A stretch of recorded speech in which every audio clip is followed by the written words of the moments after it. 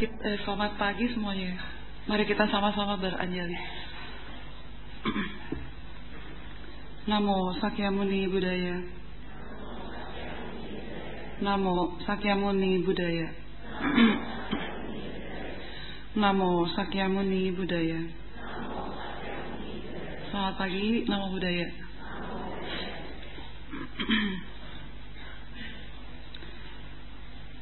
Bapak Ibu, adik-adik selamat berjumpa kembali di bulan Maret tahun 2013.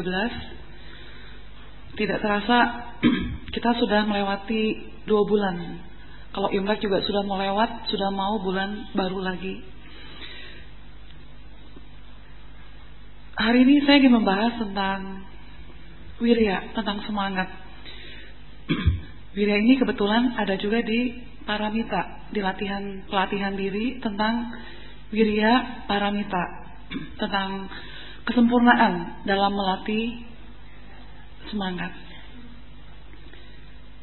Bapak Ibu mungkin sering melihat atau membaca atau mungkin mendengar tentang orang-orang yang punya semangat tinggi, punya daya juang tinggi, sampai akhirnya mencapai suatu prestasi, suatu keberhasilan.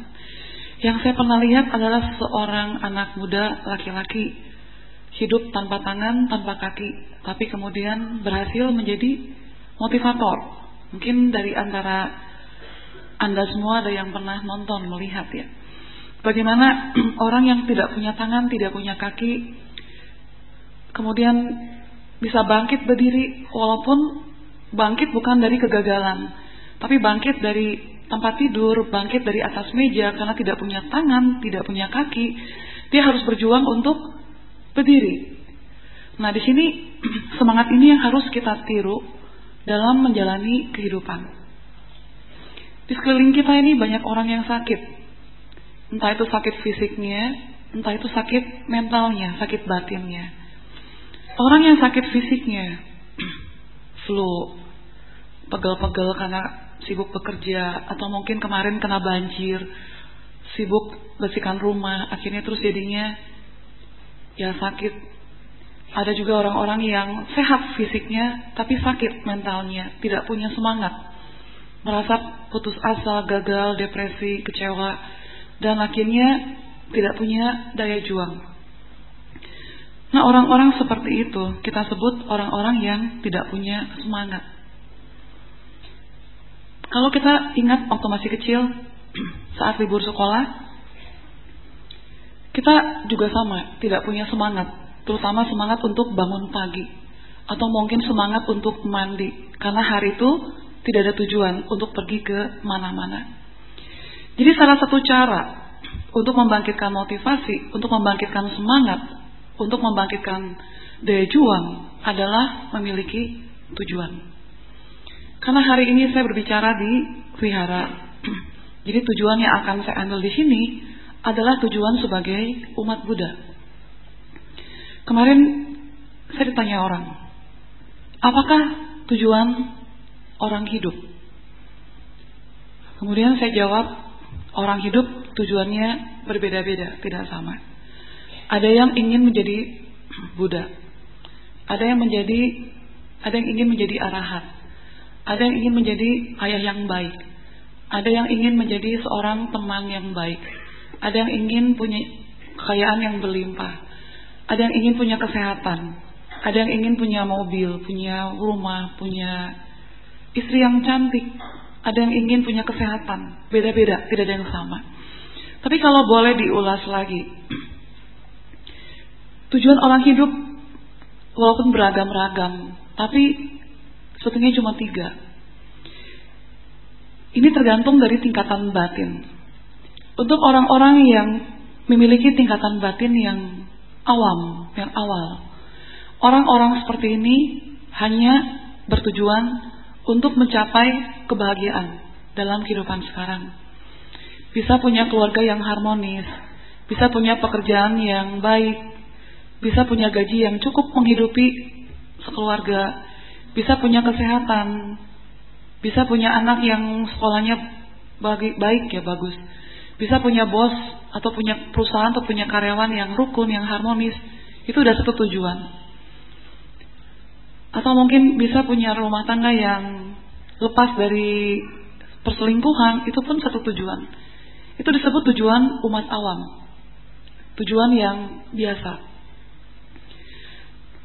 Untuk orang-orang yang punya batin menengah, yang sudah mendengarkan dharma, kemudian punya satu tujuan yang berbeda dengan orang-orang pada umumnya. Orang-orang tingkatan batin menengah ini menginginkan satu bentuk kehidupan yang berbeda dengan orang-orang di dunia alam. Orang-orang dengan tingkatan batin menengah menginginkan satu kebebasan dari penderitaan. Tidak ingin terlahir lagi dalam hidup yang sekarang. Tidak ingin lagi mengalami kelahiran dan kematian. Tidak ingin lagi mengalami rasa sakit dan usia tua. Itu untuk orang-orang yang memiliki uh, pelatihan diri yang lebih baik daripada orang-orang yang punya yang masuk atau memasuki gerbang awal, gerbang pertama, yang hanya menginginkan kebahagiaan sesaat. Nah untuk orang-orang yang lebih tinggi lagi, mereka sadar bahwa bukan cuma dirinya yang sedang mengalami penderitaan, tapi ternyata teman-temannya, sahabatnya, keluarganya, dan orang-orang yang tidak dia kenal, bahkan seluruh makhluk, itu sama-sama hidup dalam penderitaan. Orang-orang yang ada dalam tingkatan batin yang tertinggi ini berusaha berjuang selain untuk membebaskan diri sendiri dari penderitaan, juga bertekad untuk membebaskan makhluk-makhluk lain dari penderitaan. Nah, dari tiga tingkatan batin ini, Bapak, Ibu, atau adik-adik semua, atau saudara-saudara semua, bisa melihat ke dalam diri sendiri, bukan melihat ke orang lain. Melihat ke dalam diri sendiri. Tujuan apa yang Bapak, Ibu, atau adik-adik inginkan?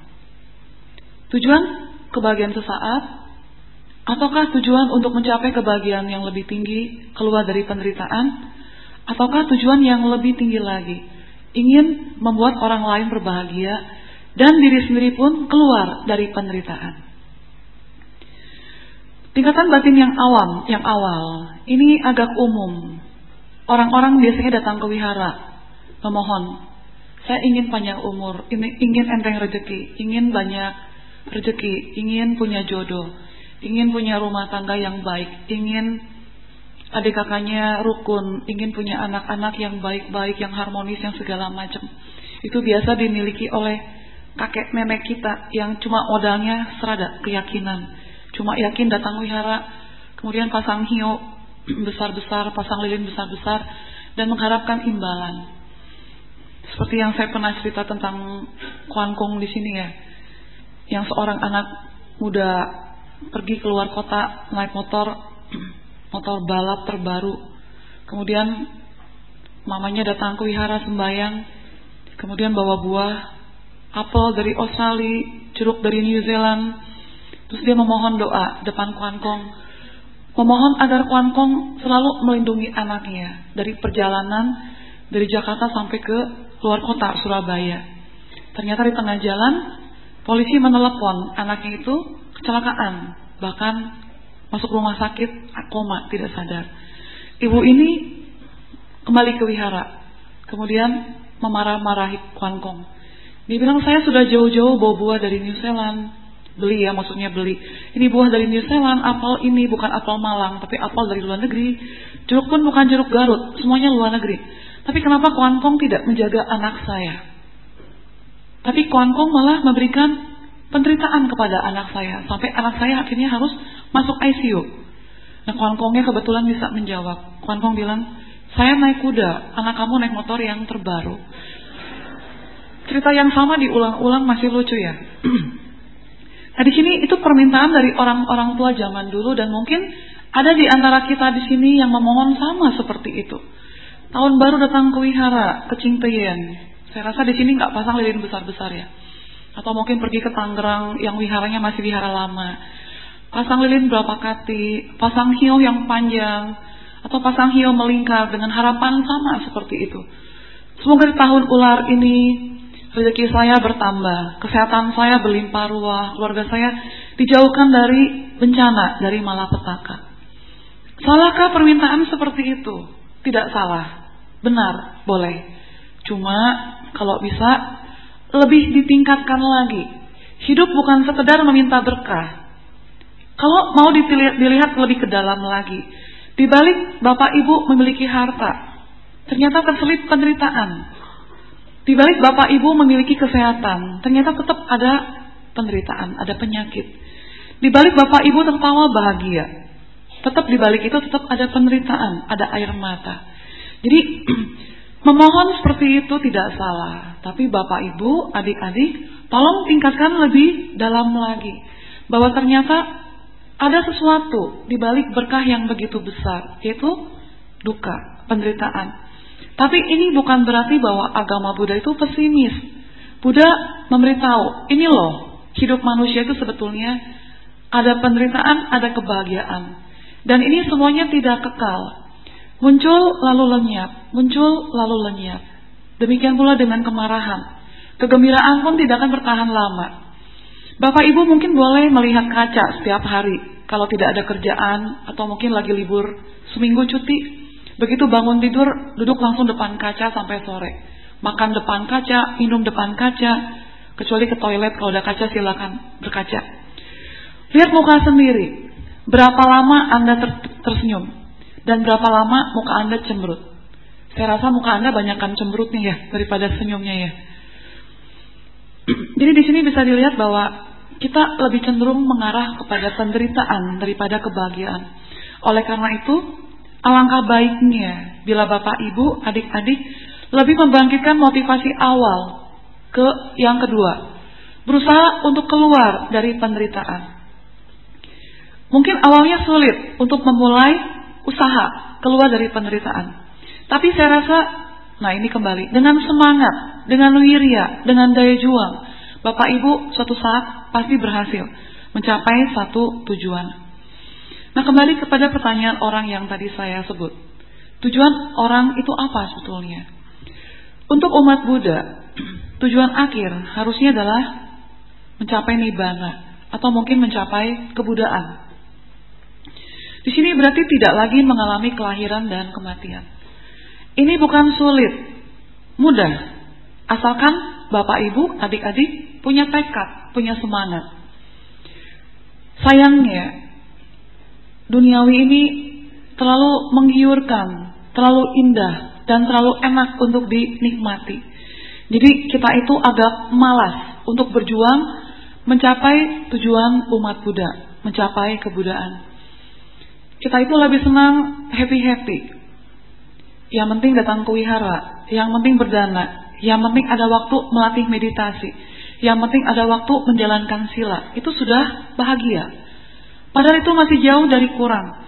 Perjuangan kita itu masih panjang. Ini baru titik yang kesekian dari ribuan titik. Hidup manusia, kalau boleh diumpamakan seperti perjalanan kereta api.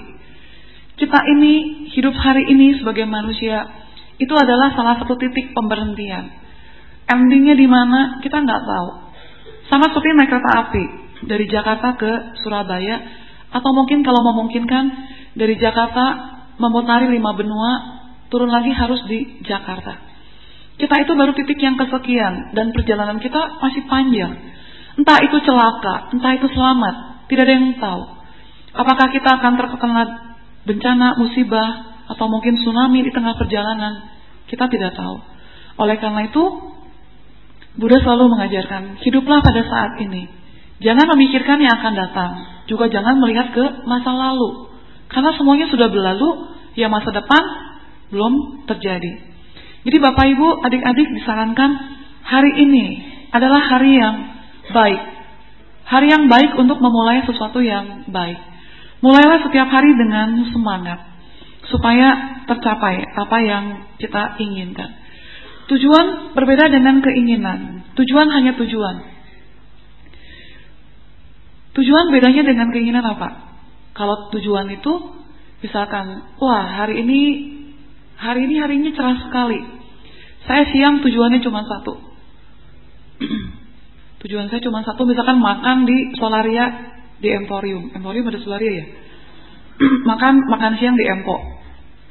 Tujuan jadi begitu ada teman-teman, ada saudara, ada kerabat yang nikah atau yang bikin pesta ulang tahun, mengajak makan atau mungkin mengajak pergi ke kebun binatang, mengajak anak-anak jalan-jalan, Karena tujuannya cuma satu, pokoknya hari ini harus makan siang di Empo. Itu semuanya diabaikan. Saya tidak bisa ikut, saya tidak mau ikut, dan saya tidak akan ikut. Karena tujuan saya cuma satu. Saya akan makan siang di Empo. Tapi kalau keinginan itu berbeda. Saya ingin makan di Empo. Begitu ada teman yang mengajak saya makan ke Cianjur, siang-siang sengaja pergi ke Cianjur, atau sengaja pergi makan di Bandung. Ada orang-orang yang begitu ya, sengaja pergi makan dari Bogor ke Bandung, kemudian pulang lagi. Dia karena cuma keinginan aja untuk makan di Empo. Begitu ada tawaran yang lebih menarik, menggiurkan, dia akan pergi ke Bandung, kemudian dia pulang lagi. Karena itu keinginan, beda dengan tujuan. Demikian pula dengan seorang umat Buddha. Saya ingin menjadi Buddha. Berbeda dengan saya punya tujuan jadi Buddha. Saya ingin mencapai kearahatan. Berbeda dengan saya akan saya bertekad untuk menjadi arahat atau saya punya tujuan jadi arahat. Kalau tujuan itu lebih mengarah pada satu usaha, satu daya juang, ada semangat. Kalau cuma ingin, ya ingin aja, sekedar ingin. Mimpi pun ingin makan ya cuma ingin. Tidak ada usaha untuk merealisasi, itu berbeda. Jadi di sini diharapkan sebagai umat Buddha, Bapak Ibu, adik-adik harus punya tujuan. Jadi punya usaha, punya semangat, punya niat, punya cara untuk mewujudkan satu keinginan. Nah di sini kembali ke topik permasalahan yaitu wirya. Wirya adalah usaha atau semangat. Tujuannya adalah untuk mencapai tujuan umat Buddha, mencapai kebudaan atau mencapai nirwana. Ada tiga faktor yang harus kita kembangkan. Kita, saya pun termasuk, bukan cuma bapak ibu atau adik-adik. Faktor yang pertama, supaya wirya ini tumbuh, semangat ini tumbuh, daya juang ini muncul adalah Bapak Ibu, adik-adik termasuk saya mengubah kepribadian, mengubah karakter. Karakter kita sebagai manusia itu cenderung bermalas-malasan, cenderung tidak punya semangat, cenderung mengarah pada kebodohan batin, cenderung pada kebencian, cenderung pada iri hati cenderung pada menimbulkan ego, keakuan. Di sini Bapak Ibu, adik-adik, termasuk saya, harus mengubah karakter, mengubah kepribadian. Dari malas menjadi rajin. Nah ini kalau boleh dibikin skala dari 0 sampai 100. Bapak Ibu melihat ke dalam diri sendiri. Tingkat kemalasan saya, kalau boleh di ranking, dibikin skala dari 0 sampai 100, ada di mana posisinya? Mungkin Bapak Ibu atau adik-adik bertanya lagi pada saya. Dalam hal apa nih suhu usaha? Kalau anak, kalau saya, saya kalau suruh belajar dari 0 sampai 100, saya cuma 20 rajinnya, malasnya 80. Alasannya satu, saya sudah berumur, mata saya sudah capek kalau baca buku. Jadi kalau suruh belajar, suruh sekolah lagi, saya ogah. Jadi kemalasan saya untuk belajar tinggi 80, rajin saya untuk belajar 20 untuk sekolah. Tapi kalau diajak pergi begadang, badminton malam-malam kemudian makan, tujuan badminton untuk menjaga kesehatan. Tapi karena teman-teman bilang harus makan malam supaya rame-rame, jadi setelah badminton mampir ke Muara Karang, ada yang makan ronde lah segala macam. Itu tingkat kerajinan saya cukup besar, 80 persen. 20 persen malasnya sedikit, karena teman-teman seru. Ada cerita-cerita baru tentang agama, tentang pendidikan, tentang pemerintahan, tentang politik, tentang apa pun juga. Jadi saya motivasi saya untuk pergi bersama teman-teman badminton malam Kamis tiap jam 7 sampai jam 1 malam tinggi sampai 80 persen. Atau untuk fitness atau mungkin apa nge-gym tinggi. Kenapa? Yang perginya muda-muda. Jadi saya bangkit motivasinya karena yang perginya muda-muda. Ada lagi ada sebagian orang lagi bilang, saya malas kalau ke wihara suhu. Saya senang baca parita. Jadi saya lebih memilih baca parita di rumah. Saya tidak mau pergi ke wihara. Kenapa kamu tingkat kemalasannya tinggi untuk pergi ke wihara? Karena di daerah saya, wihara cuma satu. Begitu saya masuk ke pintu wihara, yang terlihat adalah kakek-kakek dan nenek-nenek. Jadi usaha saya untuk ke wihara cuma 90 persen, eh, cuma 10 persen rajinnya. 90 persen malasnya. Saya gelap matanya kalau lihat orang tua. Saya lebih suka yang seger-seger, yang kinclong-kinclong. Jadi kadang-kadang kalau teman saya mengajak saya pergi ke mall, saya akan pergi. Karena saya masih muda, saya ingin mencari pendamping hidup. Banyak anak-anak muda yang seperti itu ya, nggak ada yang kinclong-kinclong. Jadi saya lihat di sini banyak anak-anak muda, jadi mungkin banyak yang seger-seger ya. Coba kalau dilihat orang tua semua, kayaknya yang muda-muda juga kabur. nah di sini kembali spirit, semangat, virya, Anda lihat ke dalam diri sendiri. Tapi di sini adalah wirya untuk mencapai satu tujuan, yaitu jadi umat Buddha yang baik yang bisa mengikis loba, dosa, moha. Yang bisa mengikis kemarahan, keserakahan, dan kebodohan batin. Bukan wirya untuk sekedar datang kuihara membaca parita. Bukan wirya yang seperti itu. Tapi wirya yang benar-benar bisa mengolah batin ke arah yang lebih tinggi. Kebahagiaan yang lebih abadi, yang lebih hakiki. Sorry, tidak ada yang abadi. Jadi pertama kali kita harus mengembangkan diri sendiri, karakter saya. Yang malas lebih semangat, yang punya tidak punya cinta kasih, coba lebih solidaritas pada teman. Kembangkan empati, peduli pada sesama kanan kiri. Itu juga satu semangat, semangat untuk mengembangkan cinta kasih. Kemudian melatih sila, itu pun semangat untuk mengembangkan sila, samadhi dan panya. Kemudian semangat untuk tidak melakukan kejahatan, Semangat untuk terus melakukan kebaikan.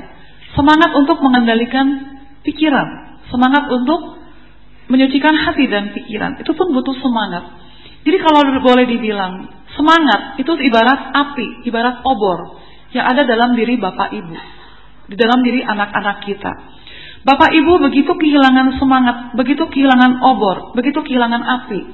Pancaran di mata pun hilang, redup.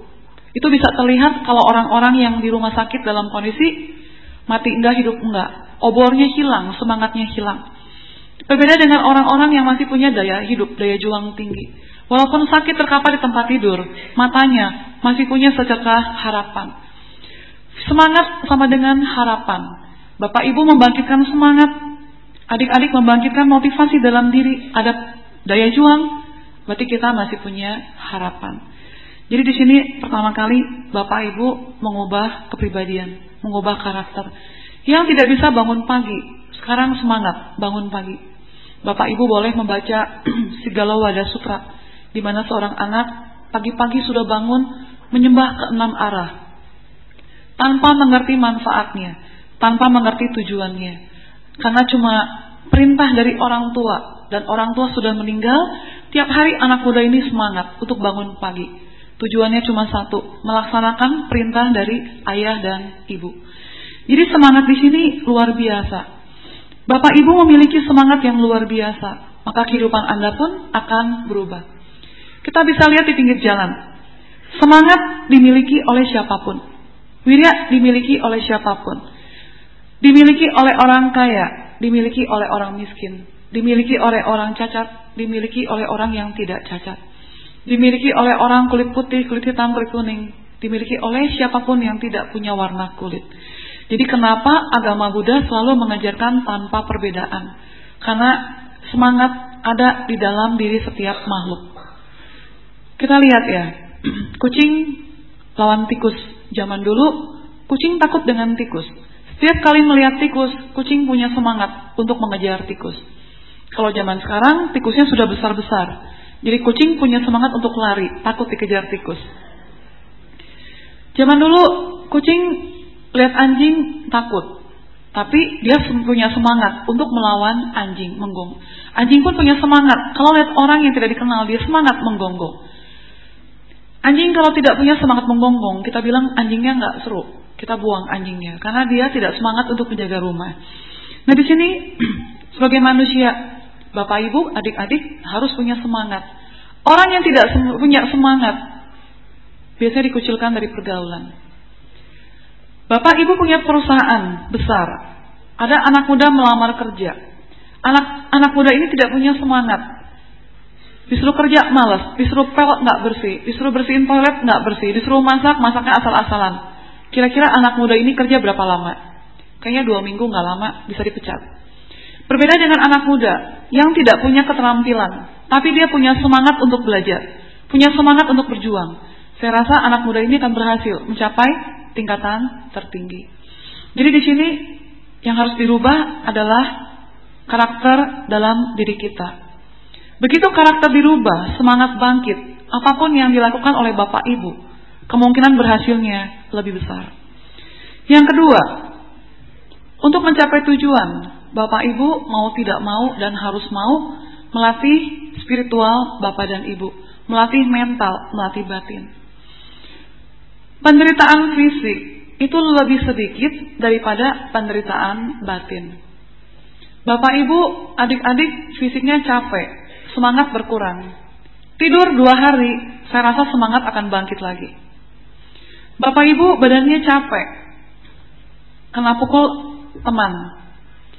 Diobati sedikit ke dokter, luka-luka diobati oleh istri, diberikan kasih sayang, diberikan perhatian luka batin, luka badan akan sembuh.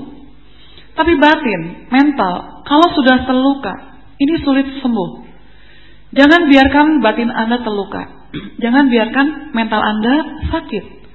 Mental yang sakit biasanya mempengaruhi tubuh. Mental Anda kalau sudah terluka, batin kalau sudah terluka, biasanya kenanya ke fisik, dampaknya ke fisik. Akan loyo, jalan juga ogah-ogahan, ditanya orang juga tahu Nggak tahu. Mau makan apa? Terserah. Mau ke mana kita? Nggak tahu. Terserah lah, gue ikut aja. Masih bagus ya? Ikut aja, ada semangat untuk ikut. Tapi kalau di tempat tidur, mau apa? Merem lagi, merem lagi. Itu ada juga semangat untuk tidur lah. Masih ada semangat untuk tidur, ada positifnya. Tapi untuk orang-orang yang tidur pun ada sebagian orang yang tidak, tidak sudah tidak tidur tiga tahun. Mau tidur pun susah, mau makan susah, mau apa-apa susah.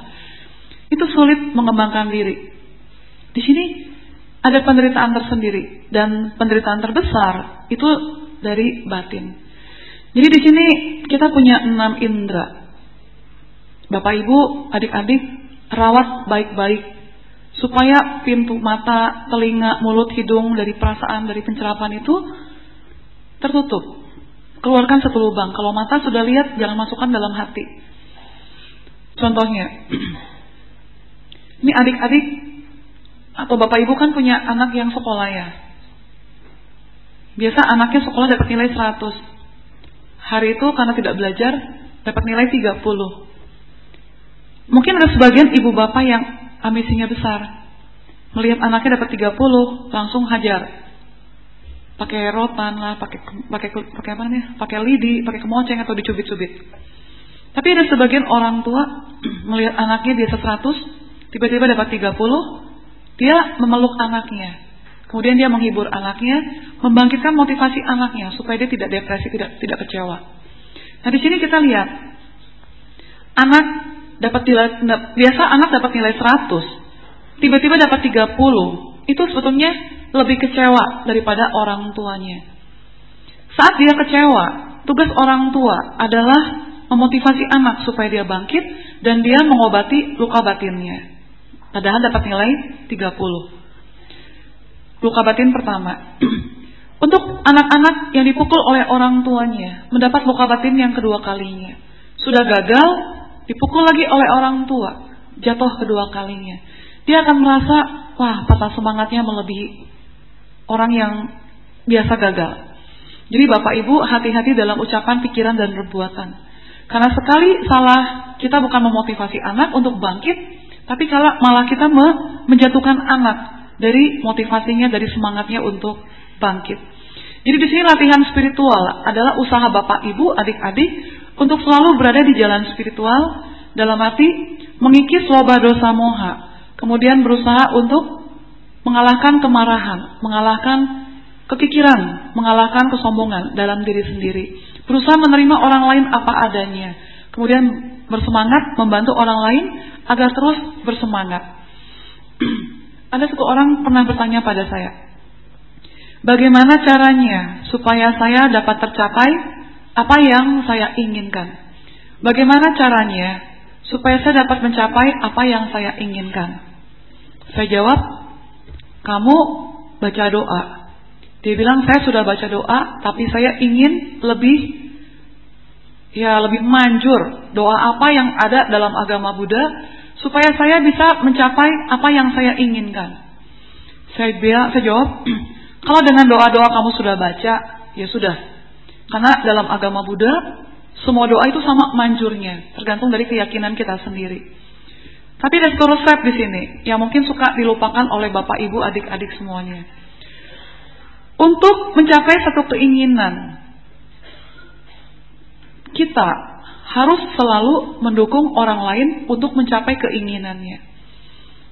Untuk orang-orang yang sering menggagalkan rencana orang lain, untuk orang-orang yang sering membuat orang lain tidak mencapai tujuannya, dia akan terkena karmanya sendiri tidak tercapai keinginannya.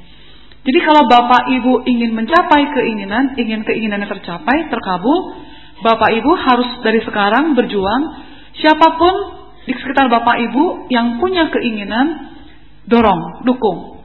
Suatu saat Bapak Ibu punya keinginan pun akan tercapai. Contoh, di kanan kiri kita ada pembantu yang sakit kepalanya nggak sembuh-sembuh. Bapak Ibu jangan memarahi dia, lu situ nonton terus, main HP terus, main BB terus. Itu memang motivasi, tapi motivasinya negatif membuat pembantu jadi dendam. Gara-gara dimaki-maki, pembantu bisa dendam. Bapak Ibu dengan tujuan yang sama, supaya pembantu tidur di jam yang sama. Bapak Ibu bisa mengatakan hal-hal yang lebih baik. Anto, kamu sini. kamu kenapa sering sakit kepala? Dia bilang nggak tahu pak, mungkin kipas anginnya apa, mungkin kamarnya kepanasan atau apa segala macam. Bisa tanya lagi lebih dalam lagi. Kamu sering telat makan nggak? Terus dia langsung ketawa. Iya sih telat makan. Kamu sering telat tidur nggak? Sering. Cara menjawab, cara men, cara bertanya saya berbeda.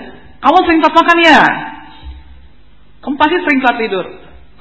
Satu dengan kamu sering telat makan nggak? Kamu sering telat tidur nggak? Berbeda. Kalau saya tidak menuduh, kamu sering telat makan nggak? Bertanya. Tapi kamu pasti sering telat makan ya? terus mukanya ditekuk, kamu pasti singkat makan pakai telunjuk. Itu orang langsung merasa terhakimi. Waduh, si ibu langsung kayaknya menuduh gua. Tapi kalau saya tanya, kamu sering telat makan nggak? Suruh dia introspeksi diri. Oh iya, ibu, saya sering telat makan. Kamu sering tidur terlambat kalau malam, sering jarang tidur sore-sore, sering begadang. Iya sih. Terus kamu ngapain kalau malam-malam? Itu bu, teman SMS aja bu, kan pasti jujur ya.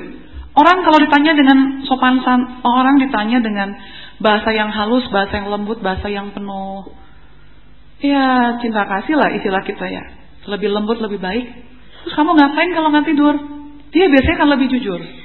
Iya bu, itu teman SMS terus bu, nggak bisa tidur dia lagi putus cinta. Jadi saya balas-balasin menghibur dia. Oh, ya udah kamu emang baik, tapi kamu jangan lupakan kesehatan diri sendiri. Kamu pun penting menjaga kesehatan diri sendiri. Kalau kamu sakit, sekarang kamu kerja sama saya. Saya lihat kamu sakit, saya masih baik loh. Kasih kamu istirahat seminggu. Tapi coba kamu pikir, kalau kamu kerja bukan di tempat saya. Coba kamu lihat teman-teman kamu, sakit seminggu. Boleh kerja apa dipecat? Dia bisa jawab, dipecat bu. Nah kamu mau nggak dipecat? Nggak mau, ya udah. Mulai sekarang kamu gini gini gini ya, jangan gini gini gini. Terus ini obat kamu minum. Nah, pembantu akan setia pada bapak ibu.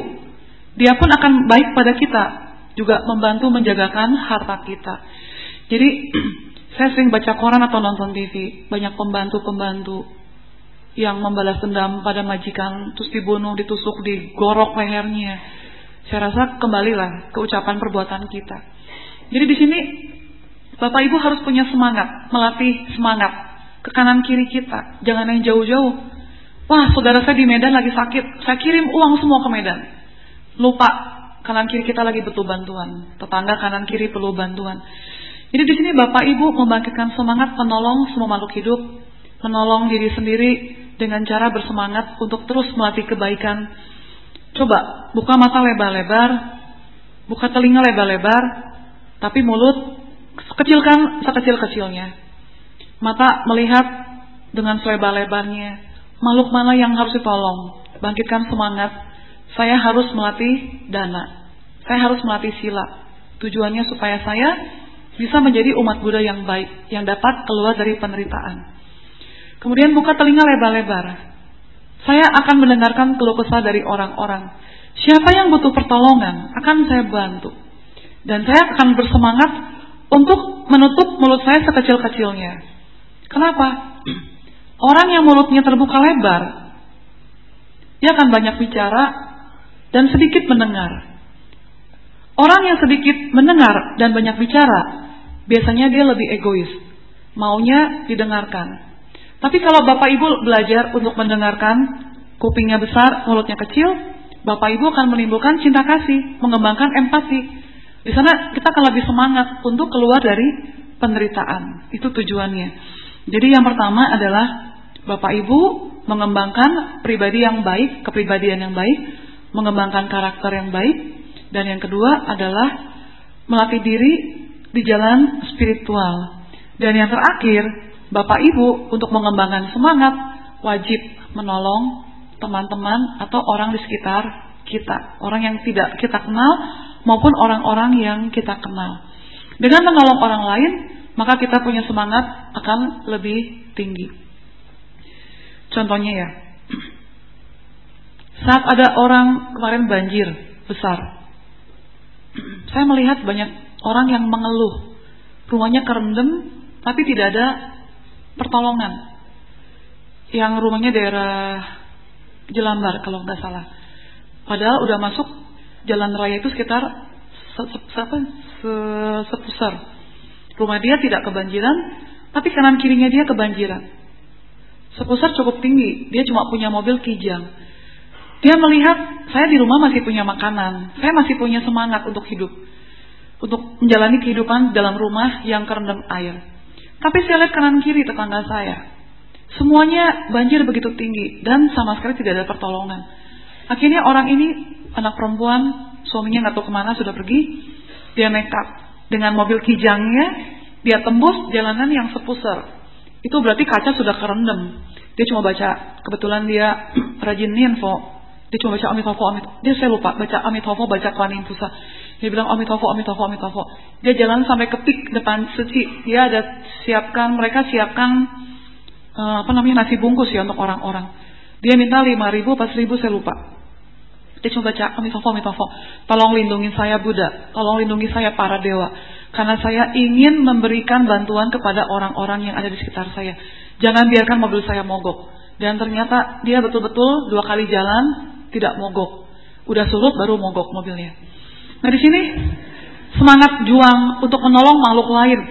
Melihat orang lain, ya dia sih tidak dia, dia bilang begini. Saya sih nggak susah suhu. Mie saya banyak. Saya punya makanan buat anak-anak saya masih cukup banyak. Tapi saya kanan kiri saya, semuanya itu benar-benar kelaparan dan sudah, sudah tiga hari tidak makan, tidak minum. Saya lihat mereka kasihan. Akhirnya saya udah nekat dah daripada tetangga gue semuanya mati. Oh mereka suka menjaga rumah saya. Dia jalan tembus sampai ke pik ke tempat suci. Saat pulang lagi, dia pun baca-baca doa. Kemudian sampai ke depan daerah Pluit, disegat sama orang kampung sana keluar. Mereka bilang mereka minta jatah. Terus dia bilang, saya tidak tahu punya kekuatan dari mana. Padahal dia bilang, saya ini matanya, kan dia matanya sipit banget. Orang, ya putihnya luar biasa dah. Terus ngomongnya agak cadel-cadel pelok-pelok begitu ya. Dia bilang, saya tidak tahu punya kekuatan dari mana. Melihat orang-orang sekampung semua keluar, tampangnya preman semua. Saya maki-maki, saya marahin. Kalian ya tidak punya perasaan ya. Lihat, daerah sana rumah saya dia bilang. Satu RT, satu RT, satu RW. Sekitar berapa ribu orang, berapa ratus orang, kayaknya lima ratus orang deh. Sudah tiga hari tidak makan. Kalian di sini cuma makan sehari sekali masih oke, okay, cuma belum makan pagi aja. Saya ke sana sudah tiga hari tidak makan. Dimaki-maki. Kalian bukan nolong orang, masih ngerampok lagi. Sudah jatuh di timpa tangga, masih juga berbuat jahat. Dia masih ceramahin sedikit, kemudian dia takut. Dia berburu kabur, panggil polisi. Nah di sini dia bilang, saya tidak tahu punya semangat dari mana untuk menceramahi orang-orang tersebut sudah jatuh ketimpa tangga, masih tidak punya kebaikan. Benar-benar kalian tidak berperi kemanusiaan. Terus dia takut tiba-tiba udah ngomong seperti itu. Dia tuh lari kabur, panggil polisi untuk ngawal sampai ke daerah Jelambar. Nah di sana satu keinginan untuk menolong orang lain membangkitkan satu semangat, satu daya juang, satu motivasi. Jadi di sini tiga cara untuk membangkitkan motivasi. Yang pertama, mengubah kepribadian. Yang kedua, bapak ibu, adik-adik tetap berada di jalan spiritual, mengembangkan batin. Dan yang terakhir adalah selalu membawa kebahagiaan bagi orang-orang yang ada di sekitar kita. Entah dengan ucapan, pikiran, atau perbuatan. Saya baca satu artikel satu. Tangan kita ada dua. Sebaiknya satu untuk menolong diri sendiri dan satu lagi untuk menolong orang lain. Itu akan membuat hidup kita jauh lebih bahagia. Itu kekuatan dari wirya, dari semangat. Jadi saya sangat mengharapkan ya walaupun cuma setengah jam saya di sini, Bapak Ibu bisa melihat ke dalam diri sendiri, dibuat skala dari 0 sampai 100, semangat Bapak Ibu untuk berjuang keluar dari penderitaan itu seberapa besar. Kalau masih kecil, masih 0, masih 1, masih 10, bangkitkan lagi. Kalau usaha atau semangatnya sudah tinggi, sudah 80 dan 90, jangan lupa. Agama Buddha adalah agama praktik, bukan agama teori. Jadi praktekkan apa yang sudah diajarkan oleh Yang Buddha, oleh guru kita. Karena tanpa praktek, sia-sia. Jadi apa yang bisa diajar, apa yang bisa dipraktekkan, walaupun ya baru sebatas coba-coba atau mungkin iseng-iseng, Bapak Ibu lakukan dengan tulus hati. Bapak Ibu melakukan segala sesuatu dengan tulus. Bapak Ibu akan menerima hasilnya dengan tulus juga. Bapak Ibu memberikan dengan setengah hati, maka orang lain akan memberikan dengan setengah hati. Bapak Ibu memberikan seperempat, maka orang lain akan memberikan juga seperempat. Mungkin Bapak Ibu punya uang 2M, 2 miliar untuk merenovasi wihara ini. Tapi hati cuma setengah hati. Suatu saat Bapak Ibu akan menerima pahala pun setengah. Bapak Ibu memberikan satu hati utuh. Cuma cuma 10 ribu. 10 ribu rupiah. Kalau beli ketoprak 10 ribu juga cuma bisa dapat dua bungkus, sebungkus setengah. Tapi Bapak Ibu dengan 10 ribu benar-benar tulus memberikan. Pahala yang Bapak Ibu dapatkan juga akan utuh, akan penuh. Jadi bukan dilihat dari besarnya, melainkan dilihat dari hati Bapak Ibu.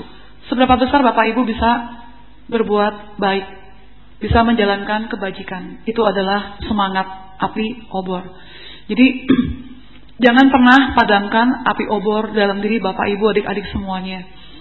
Terakhir dari saya, Bapak Ibu semua di sini kan sering atau mungkin pernah atau mungkin melihat kanan kiri kita, teman-teman atau mungkin lingkungan di sekitar kita merayakan hari ulang tahun. Dengan kue tar yang besar, dengan jumlah lilin sekian, atau mungkin dengan angka 15, 23, 17, 35, 50. Bapak Ibu juga mungkin sering datang ke wihara atau kelenteng-kelenteng yang memasang lilin sebesar-besarnya. Kalau boleh saya tanyakan, bertanya pertanyaan saya bukan untuk dijawab, untuk direnungkan. Tujuan kita di sini memasang pelita, memasang lilin-lilin adalah untuk menerangi kehidupan kita yang gelap, menerangi batin yang gelap, supaya punya kebijaksanaan, supaya kalau umat awam bilang yang rezeki tidak lancar menjadi lancar, rumah tangga yang tidak tidak harmonis menjadi harmonis, usaha yang gelap menjadi terang, semua yang gelap-gelap menjadi terang. Itu gunanya lampu, gunanya pelita. Kalau dalam hati orang-orang yang melatih diri, berharap bahwa ada obor dalam batin kita yang terus bersinar dan terangnya ini bisa menerangi semua makhluk. Tapi tujuannya sama penerangan. Cuma pertanyaan saya cuma satu. Boleh Bapak Ibu renungkan sampai ke rumah. Kenapa setiap kali kita ulang tahun, kok harus niup lilin?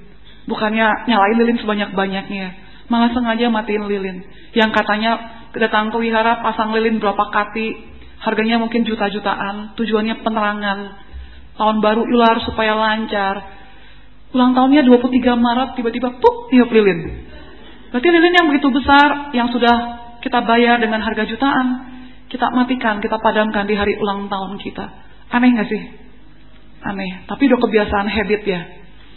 Dan banyak 99,99999% orang selalu mematikan lilin di hari ulang tahunnya yang harusnya di hari ulang tahun itu dia malah bahagia bersinar dia malah matiin lilin. Puk kira-kira renungan buat bapak ibu sendiri dah. Rasanya kalau sudah tahu seperti ini ya kita nyalakan lilin untuk penerangan untuk berkah supaya terus bersinar usaha lancar rezeki lancar kesehatan lancar batin lancar semua lancar tiba-tiba tiup lilin pok mati Di hari ulang tahun lagi. Luar biasa. Dan sekarang saya pun tidak tahu. Saya juga terbiasa diajarkan untuk make a wish, kemudian meniup. Terus dinyanyikan lagi, weh niup lilin. kemudian sekitar 6-7 tahun yang lalu ada seorang suhu tiba-tiba bilang, lucu ya orang-orang ini manusia-manusia yang mengharapkan jalan yang terang, tiba-tiba harus mematikan lilin di hari ulang tahunnya. Saya pikir-pikir betul juga ya. Walaupun saya sudah menjadi seorang biku, tapi tetap saya berharap ada lilin penerangan untuk batin saya. Jadi sekarang walaupun saya tidak merayakan ulang tahun, tapi suka ada orang-orang jahil yang bawa kue untuk bawa lilin. saya dengan berat hati tidak meniup lilin dan berarti membuat orang-orang bingung.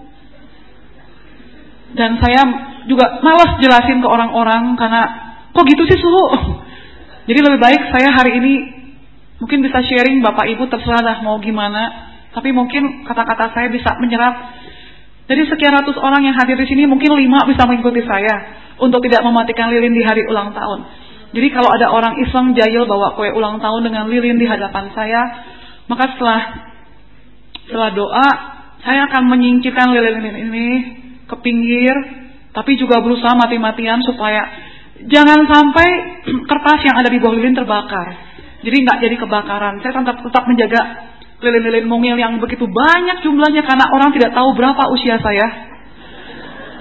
Cuma hobi bawa kue dengan bawa lilin yang begitu banyak kecil-kecil. Mau nggak mau saya jaga di samping-samping supaya tidak padam dan juga supaya tidak mematikan lilin. Dan saya masih mengharapkan supaya orang-orang yang dengan tulus hati membawakan kue dan lilin untuk saya, sama seperti lilin ini terus bersinar di hati orang-orang itu. Jadi saya kebiasaan saya hari ini, nah dari tahun itu sampai hari ini dan berikutnya, saya akan menyingkirkan lilin-lilin ulang tahun yang dibuat untuk saya supaya padam dengan sendirinya sesuai dengan karma saya. Kalau emang harus mati, saya akan mati dengan apa yang harus ya saya jalani seperti itu.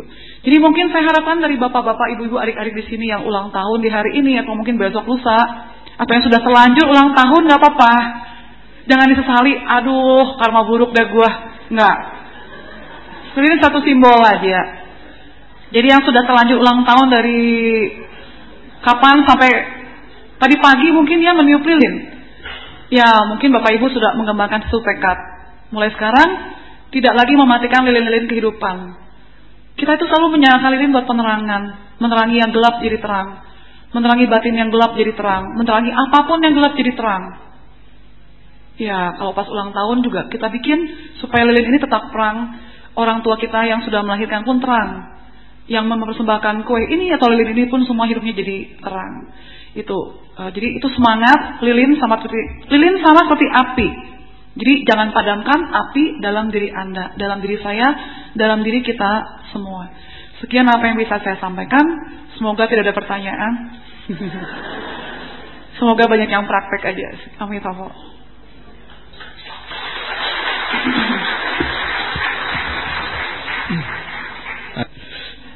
Um,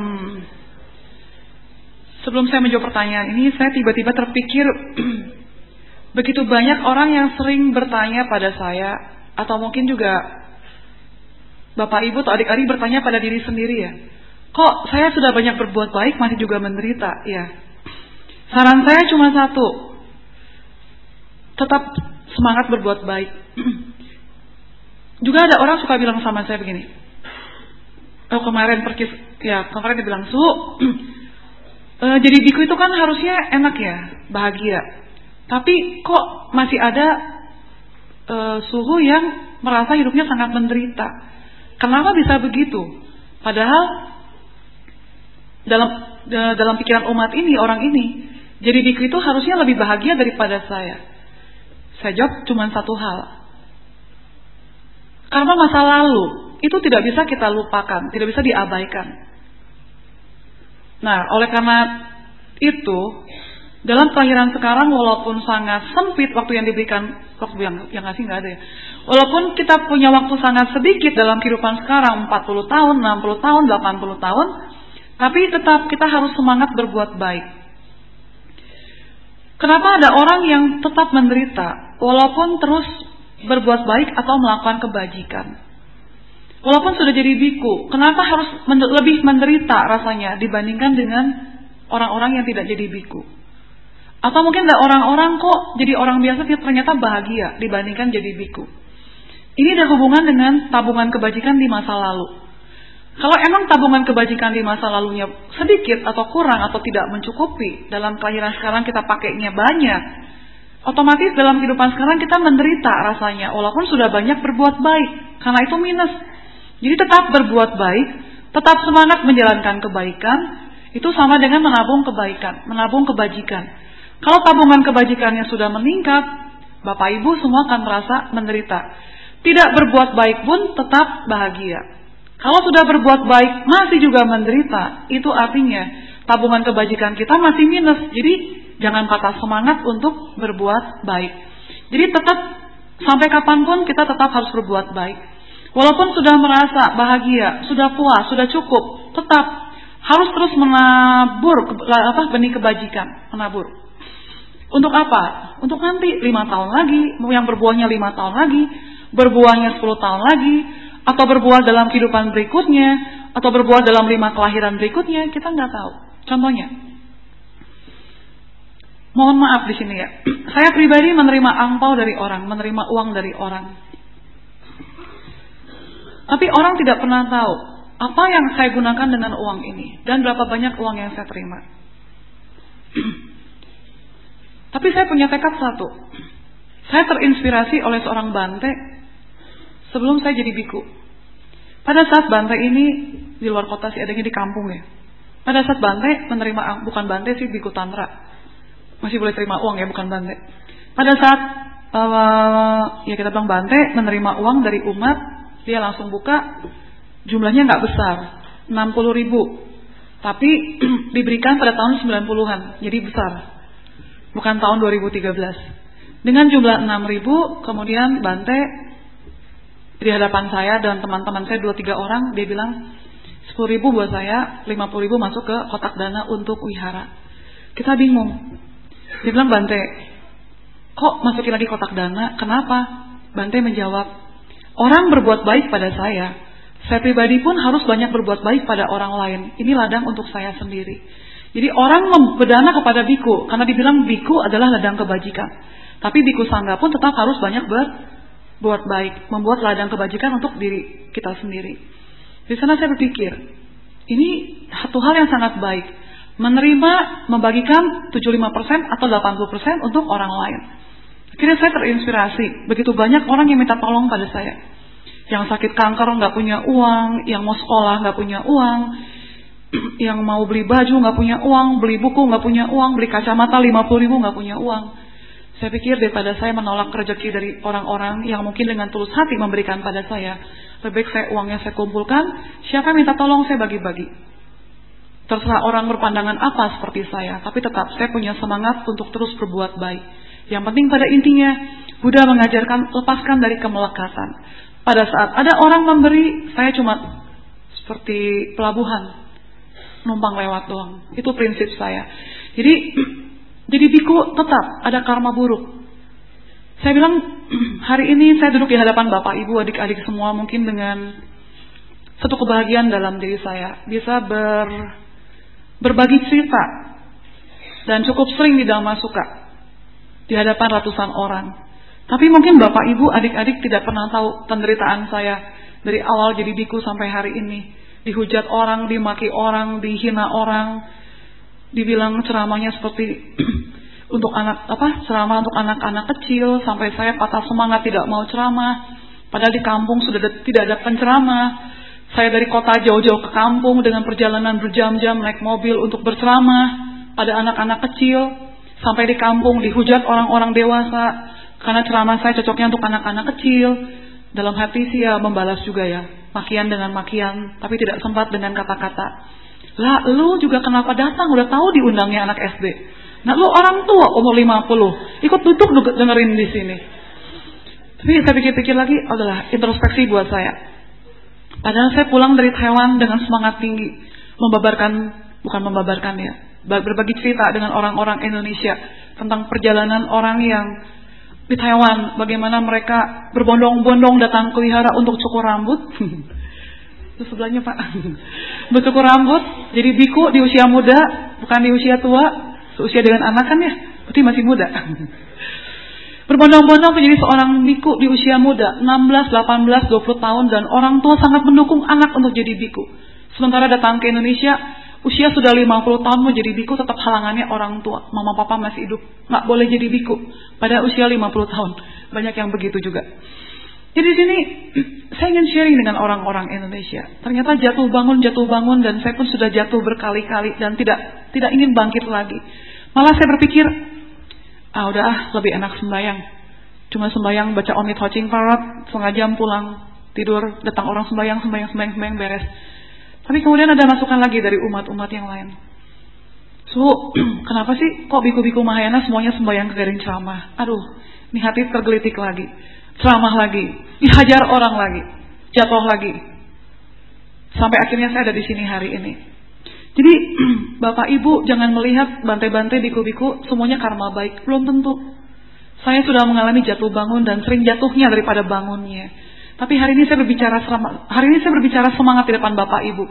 Karena sampai hari ini ya, hari ini semangat saya cukup tinggi. Jadi orang-orang lihat saya dibilang suhu energik, padahal saya bukan energik. Saya sudah sangat loyo, saya sudah sangat capek. Dan kalau minta izin, kalau Buddha boleh memberikan sedikit waktu pada saya, kalau boleh besok pagi saya buru-buru meninggal gitu ya, jalan ke tanah suci Sukawati. Tapi karena saya tidak tahu kapan saya menjalani karma ini, ya udah, saya jalanin aja dengan penuh semangat. Cuma sekarang saya punya prinsip satu. Saat saya jatuh, saya tidak boleh tidak bangkit. Saya harus bangkit dan artinya kebajikan saya di masa lalu sangat kurang. Jadi walaupun saya jadi biku banyak berbuat baik, tetap saya harus menabur ladang kebajikan bagi diri saya sendiri. Dan saya tahu saya tidak punya kebijaksanaan. Saya tidak punya kecerdasan. Saya bukan orang yang pintar. Tapi saya saya juga bukan orang yang hobi sekolah. Tapi kalau bapak ibu adik-adik di sini dengar bahwa saya sedang sekolah, itu karena karma baik saya. Dari tahun 98, tahun 2000 lah. Dari tahun 93, saya sudah punya banyak anak asuh. Dan uang itu saya sisihkan dari uang saya guru les. Kebetulan saya les organ dari kecil. Saya sudah jadi guru les organ. Saya bisa bikin lagu, saya bisa apa. Kemudian saya punya uang untuk makan, saya sisihkan untuk makan saya sendiri. Dari rumah ada. Sisa uang lebih saya. Saya berikan untuk anak-anak yang tidak bisa sekolah. Zaman dulu Bantai Kantigar, Bantai Kantidaro uang uang satu anak sekolah cuma lima ribu, sepuluh ribu. Saya cuma uang, saya cuma punya uang lima puluh ribu. Dalam arti satu bulan saya bisa menyekolahkan sepuluh anak. Tahun 2000 saya pulang dari Taiwan. Saya lihat anak-anak kampung, terutama daerah Tangerang, daerah Jawa, Temanggung sana. Banyak orang-orang yang pengen sekolah nggak bisa sekolah. Cuma dengan modal lima ribu. Kali sepuluh anak, baru lima puluh ribu. Saya ikutan nyumbang-nyumbang. Dari sana karma baik saya muncul. Hari ini saya bisa kuliah di Atmajaya. Walaupun setengah mati karena usia sudah cukup tua. Daya ingat sudah lemah sekali. Tapi di sana ada tabungan-tabungan. Kenapa? Karena saya baca di dalam sutra, dalam buku-buku yang Mahayana. Saya kalau ingin berhasil mencapai tujuan saya, saya harus mendorong orang-orang mencapai tujuan. Saya mana pernah berpikir dalam usia menjelang 40 bisa kuliah ambil S1 di Atmajaya. Dan gak mungkin banget gitu ya kok sekolah lagi, enakan juga sembahyang kan. Tapi saya benar-benar sekolah lagi. Lawan saya anak-anak muda umur 18, 20 tahun. Tapi saya berpikir, oh ini mungkin kebajikan yang suka saya lakukan. Mendorong anak-anak untuk sekolah. Berapapun uang akan saya carikan. Asal anak-anak bisa sekolah. Saya nggak pernah minum Coca-Cola yang harganya 5 ribu. Karena begitu beli Coca-Cola 5 ribu, saya langsung terpikir. Satu anak sekolah sebulan. Ya dibilang pelit, mungkin saya pelit juga. Tapi saya tidak mau juga merepotkan orang-orang saya bisa mungkin minta sama orang-orang ya, Pak, ini bapak orang kaya punya perusahaan, Pak minta uang Pak, satu juta untuk anak-anak Tangerang sekolah satu bulan. Saya mungkin bisa. Tapi kan berarti ladang kebajikannya bapak, bukan ladang kebajikan saya. Saya masih egois, saya masih harus menabung karma baik. Jadi apa yang sudah orang-orang berikan pada saya, saya punya semangat untuk menabur lagi benih-benih kebajikan supaya saya punya tabungan kebajikan banyak. Kalau tabungan kebajikan saya banyak, yang berbahagia saya. Jelas. Tapi yang merasakan manfaatnya Bapak Ibu juga kan. Saya hadir di sini, saya bisa berbagi dengan Bapak dan Ibu sekalian. Jadi di sini tadi manfaat memberikan kebahagiaan bagi orang lain itu sangat penting.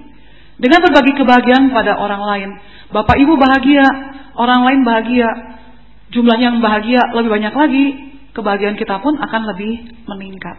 Nah, itu semangat untuk terus berbuat baik. Nah, pertanyaan yang pertama adalah mengenai seorang istri yang lebih sayang pada anjing. Kalau anjing dibawa ke rumah, oh ya. Kalau anjing sakit dibawa ke dokter. Kalau saya sakit, dia bilang terserah mau ke dokter apa enggak. Jadi semangat saya menurun untuk menyayanginya. Karma buruk apa yang saya punya di kehidupan lampau? Jangan-jangan anjing kami itu mantan suami atau pacar dia di kehidupan lalu. Bagaimana mengatasinya agar semangat mencintai istri tidak kurang tidak kurang. Terima kasih. Jadi intinya tentang semangat saya untuk mencintai istri bercoba bertahan tapi kayaknya mulai mengendor karena istri lebih sayang pada anjing. Kalau topik saya semangat ya bukan karma. Jadi saya tidak membahas karma lebih dalam. Tapi kalau bicara karma sih mungkin dia di masa oh ya. Saya baca buku satu. Um, kenapa ada makhluk bisa lahir sebagai anjing? Ternyata menurut buku beberapa buku itu disebutkan bahwa orang tua yang terlalu sangat melindungi anak, yang terlalu sangat menjaga anaknya, yang terlalu sangat melekat pada anaknya dan sangat khawatir anaknya terluka, anaknya kenapa-kenapa, itu mungkin bisa terlahir sebagai anjing di keluarga tersebut. Menjaga anaknya supaya tidak kenapa-kenapa. Jadi hati-hati kemelekatan orang tua pada anak. Jangan sampai membuat Anda menderita dan lahir lagi terus menjaga anak tidak mau lepas. Hati-hati. Nah di sini saya tidak tahu apakah anjing ini kelahiran lalunya suaminya, pacarnya, orang tuanya atau apanya. Tapi di sini saya berbicara sebagai Anda, sebagai seorang suami yang sekarang semangatnya sedang turun untuk mencintai istrinya. Cinta berbeda dengan kasih. Cinta depannya C, kalau kasih depannya K. Satu. Yang kedua, kasih itu kata dasar, cinta pun kata dasar ya. Kalau diberi awalan me, mencintai berbeda dengan mengasihi. Mengasih. Mengasih bukan menerima, mengasih, memberi. Kalau mencintai, mungkin ada harapan memberi. Mungkin Bapak di sini bisa introspeksi ke dalam diri sendiri, melihat menerenung Bapak sebetulnya mencintai istri atau mengasihi istri. Kalau Bapak mencintai istri, artinya Bapak mengharapkan kasih dari istri. Dikasihani bisa, dicintai bisa. Atau Bapak mengharapkan tidak mengharapkan apa-apa, Bapak mengasih, mengasih, mengasih. Terserah dia memberikan balasan atau tidak, tapi tetap mengasih, memberi. Nah itu bagi saya lebih bahagia mengasihi daripada mencintai. Jadi kalau bapak merasa bapak lebih mencintai istri daripada mengasihi istri, bapak bisa mengubah pandangan atau mengubah satu kebiasaan menjadi mengasihi istri. Jadi bapak terus saja ngasih sama istri, memberikan perhatian, memberikan semangat, memberikan cinta, memberikan cinta kasih, memberikan apa ya harta benda segala macam tanpa meminta imbalan. Jadi semangat bapak untuk mengasihi isi tidak pernah surut. Sama seperti bodhisatwa para Buddha mengasihi kita manusia. Kita ini manusia sama seperti istri bapak yang selalu mencintai makhluk lain. Kita ini dikasihi oleh Buddha, tapi kita lebih cenderung pada keduniawian, suka melupakan Buddha, melupakan Dharma, melupakan Sangga. Tapi Buddha tidak pernah marah kepada kita, terus mengasihi makhluk hidup. Para bodhisattva terus mengasihi makhluk hidup, supaya makhluk hidup sadar. Jadi Bapak pun harus seperti para Buddha dan bodhisattva, terus mengasihi.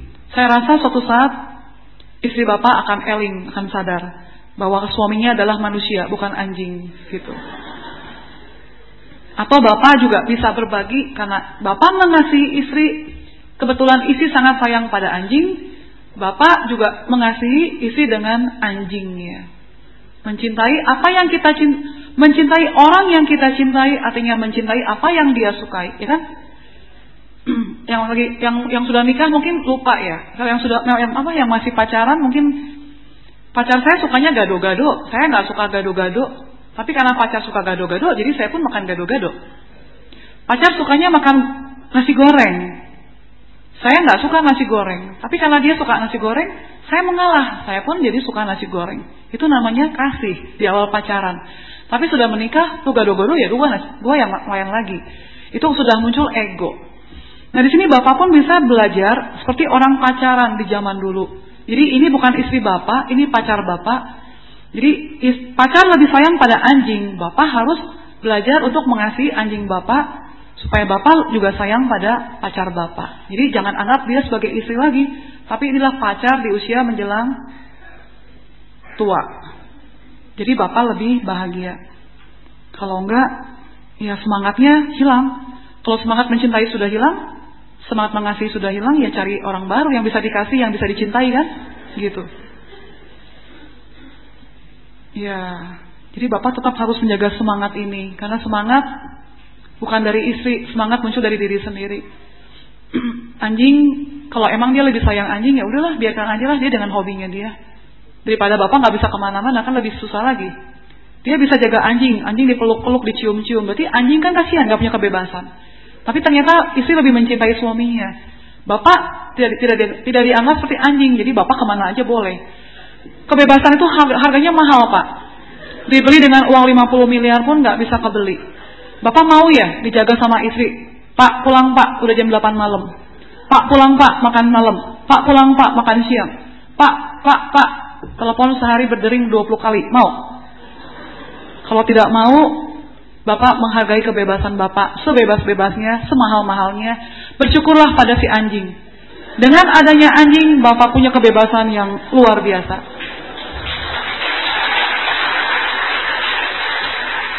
Waduh, ini pada tepuk tangan jadi curiga saya.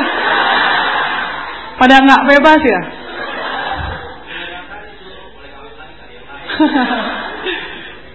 Tapi emang betul kebebasan tuh mahal harganya. Um, berasa sekali untuk saya ya, saya pribadi. Kenapa? Ini bapak ibu jarang lihat ada suhu yang naik mobil ya. Ada beberapa orang nggak banyak. Selebihnya ada di mana? Lagi sibuk jaga wihara. Dan saya satu-satunya orang kalau Bapak Ibu boleh ngobrol ke semua susu, cuma saya yang dianggap, yang dianggap punya kebebasan yang bisa keluyuran sesuka hati saya. Selebihnya itu harus dengan izin suhunya atau izin dari wihara. Jadi di sini buat saya satu keberuntungan buat saya lahir punya kebebasan yang seperti ini dan ngotot untuk mempertahankan kebebasan. Karena ternyata begitu banyak orang yang ingin keluar dari penderitaan, ingin punya kebebasan, tapi ternyata malah terjebak dalam dalam belenggu yang lain lagi untuk jaga wihara lah, terikat sama umatnya lah, kebaktian ikut apa? Mimpin kebaktian lah. Harus ini, harus itu, saya nggak ada. Saya mau A, A, B, B, C, C. Ya agak sedikit sompral. Tapi paling tidak saya merasakan bahwa kebahagiaan itu sangat luar biasa, sangat mahal. Tidak bisa dibeli oleh apa pun juga. Dan ada di Undang-Undang Dasar 45 bahwa hak setiap orang adalah hak untuk kebebasan. Jadi bapak ibu yang sudah bebas, berbahagialah. Aduh suhu, udah mau 50, masih belum dapat jodoh juga anak saya. Terus dia stres, iya suhu, saya belum kawin, nanti tua gimana ya? Jadi sudah tahu bebas itu mahal harganya. Jangan melekatkan diri dengan hal-hal yang bakal kita membuat kita menderita. Kebebasan sangat mahal luar biasa. saya sering banget mendengar para suami yang mengeluh karena istri sering menelepon sehari bisa 25 kali, 30 kali. Jadi suami cuma kering bunyi. Kalau nggak angkat, antepin anjing gue lagi gonggong. Banyak sekali yang seperti itu, ya Pak ya. Itu cukup menderita. Untuk awal-awal pernikahan senang. Wah, istri gue sayang. Tapi lama-lama, termasuk umat di Bogor. Muka lu keruh amat, kenapa istri? Muka lu keruh amat sih kenapa? Capek su kawin sama dia. Biasanya istri cemburu sama suami. Ini suami cemburu sama istri. Jadi sama suami di setel GPS. Istri ke mana dia pantau dia sensor. Kalau dia bilang dari rumah ke wihara sekitar 3 kilo, karena rumah dari Sentul ke Bogor 3 kilo, pulang pergi, pulang malam-malam dilihat mobilnya, kilometernya bener nggak 3 kilo? Kalau lebih dari 3 kilo, berantem. Coba. Kebebasan luar biasa mahal, jadi hati-hati. Pertanyaan berikutnya. Saya mau tanya, jika ada orang yang rajin beribadah, tetapi perbuatannya buruk. Sedangkan orang yang tidak pernah beribadah, perbuatannya baik. Manakah yang bisa masuk ke surga? Yang pertama, rajin beribadah tapi perbuatannya buruk. Yang kedua, tidak pernah beribadah tapi perbuatannya baik. Yang bisa masuk surga kemungkinan besar adalah orang yang punya perbuatan baik tapi nggak pernah ibadah. Karena ibadah itu cuma fisiknya doang kan, duduk di sini. Tapi pikirannya kan belum tentu ada di sini kan. Tapi kalau orang berbuat baik, dia dengan hatinya berbuat baik. Tidak ibadah, yaitu ibadahnya dia berbuat baik beramal. Sedangkan orang di sini yang tidak pernah ber, tidak pernah uh, beribadah, tapi pikirannya tidak beribadah. Di luaran keluar dari wihara, dari rumah ibadah, tidak ada perbuatan baik, tidak ada action, tidak ada tindakan. Ya sama aja meracuni diri sendiri ke arah penderitaan. Jadi menurut saya pribadi yang bisa lebih bisa kemungkinan besar masuk surga adalah orang yang banyak berbuat baik walaupun tidak rajin beribadah. Tapi alangkah indahnya banyak beribadah juga banyak berbuat baik. Itu bukan hanya masuk ke surga, bahkan bisa mencapai nibana begitu. Berikutnya terakhir, terakhir apa ya? Pasti terakhir kan ini. Amitabha saya ingin bertanya, apakah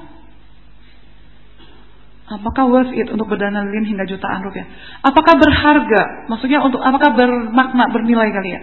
Untuk berdana lilin hingga jutaan rupiah. Orang tua saya sering mengajak saya untuk berdana lilin, padahal menurut saya dana lebih baik digunakan untuk menyumbang hal lain. Keyakinan tiap orang berbeda-beda. Saya pribadi, saya ingin mempunyai kebijaksanaan yang tiada batas. Saya ingin memiliki cinta kasih yang tiada batas. Saya pun ingin memiliki ladang kebajikan yang tiada batas. Jadi selain saya mempunyai anak asuh, kalau anak asuh bicara sekolah berarti bicara kebijaksanaan, kesehatan, eh sorry, kebijaksanaan dan kepintaran, kecerdasan. Saya pun kadang-kadang memberikan makanan kepada orang yang susah, atau memberikan pakaian kepada orang-orang yang membutuhkan pakaian, atau saya memberikan uang kecil-kecil kepada anak-anak di pinggir jalan. Itu pun kalau pengen ngasih baru ngasih. Tujuan saya cuma satu. Saya melihat di kanan kiri saya ada orang kaya, uangnya sangat banyak, tapi nggak bisa makan. Saya melihat di kanan kiri saya ada orang miskin, nggak punya uang, tapi punya hoki untuk jalan-jalan ke luar negeri, ya, nggak punya uang, tapi ke luar negeri ke Bali bisa jalan-jalan. Ini luar biasa. Saya juga melihat ada orang nggak punya uang, tapi bisa sekolah tinggi tingginya. Sekolah ke mana aja bisa. Saya juga melihat ada orang yang begitu kaya, tapi untuk tidur pun nggak bisa tidur. Terus saya berpikir lagi, kenapa bisa begitu? Akhirnya saya pikir-pikir lagi, oh saya sekarang mengerti. Kalau bapak ibu adik-adik ingin sempurna, sempurnalah di semua bidang. Anda berdana makanan, nanti rezekinya munculnya munculnya nanti mungkin makanan lagi. Saya kasih ibu kue lapis tiap tahun. Orang-orang nanti ngasih saya kue lapis lagi, kue-kuehan lah makanan. Saya sering ngasih baju sama orang. Tiap ke luar negeri saya kasih oleh-oleh baju. Besok lusa orang-orang ke luar negeri ngasihnya baju lagi sama saya. Kalau saya sering ngasih coklat sama orang-orang, orang-orang ngasih saya lagi coklat lagi. Dipikir sunyi senang coklat. Kasih coklat lagi. Kalau saya kasihnya uang sama orang, orang-orang kasihnya uang lagi sama saya. Kalau saya sering kasih obat sama orang, orang kasihnya obat lagi sama saya. Saya ingin sempurna di semua bidang. Jadi apa yang bisa saya sumbangkan, saya berikan pada orang. Saat orang butuh air, saya berikan air. Saat orang butuh uang, saya berikan uang. Saat orang butuh baju, saya berikan baju. Saat orang butuh makanan, saya berikan makanan. Saat orang ingin makan buah, saya berikan buah. Saat orang bilang, saya pengen punya kaki palsu, saya berikan kaki palsu. Saat dapat telepon dari orang, ada rumah singgah kanker ya, CISC namanya. Saat mereka bilang suhu, saya sudah kehabisan beras, saya sumbang beras tidak dalam bentuk uang. Kenapa? Karena saya ingin duniawi saya sempurna. Di sini kembali ke lilin.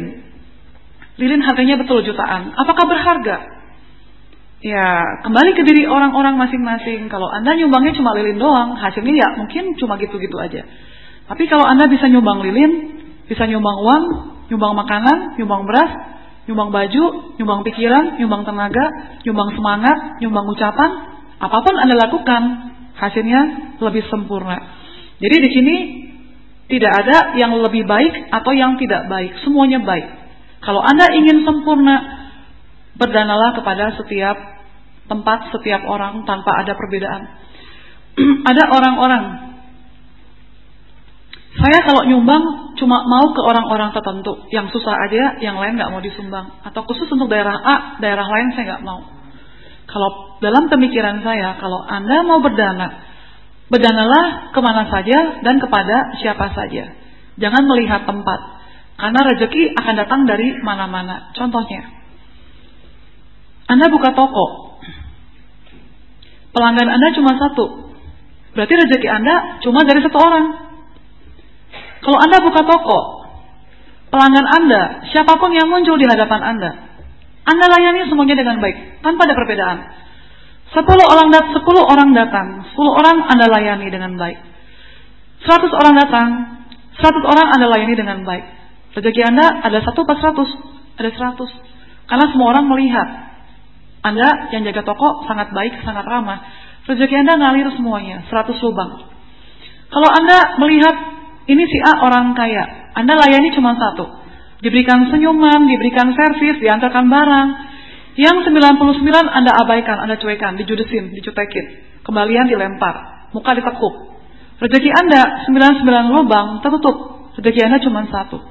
Kalau Anda ingin benar-benar sempurna, Anda harus membuka 100 lubang. Dalam arti, Anda harus berdana kepada siapa pun, di mana pun juga, dan kapan saja tanpa melihat siapa pun dia. Baru rezeki Anda terbuka lancar.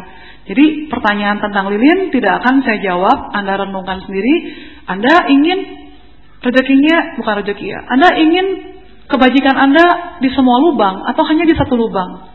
Kalau Anda ingin berdana hanya satu lubang, maka Anda hanya punya kebajikan satu lubang. Tapi kalau Anda ingin sempurna di semua bidang, di semua lubang, maka sebaiknya Anda melakukan kebajikan di banyak lubang. Itu. Sekian apa yang bisa saya sampaikan. Semoga bermanfaat. Semoga Bapak Ibu, adik-adik semua diberikan kesehatan, Semoga Bapak Ibu semua bisa mempraktekkan Buddha Dharma ya. Uh, selamat siang, nama budaya. Semoga Anda semua pulang ke rumah dengan selamat. Selamat siang.